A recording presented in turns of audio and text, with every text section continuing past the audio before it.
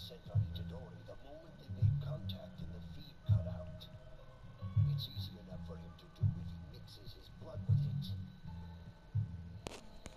If the boys fighting Todo, he won't come out unscathed. So if Itadori is attacked by a semi-first grade the moment after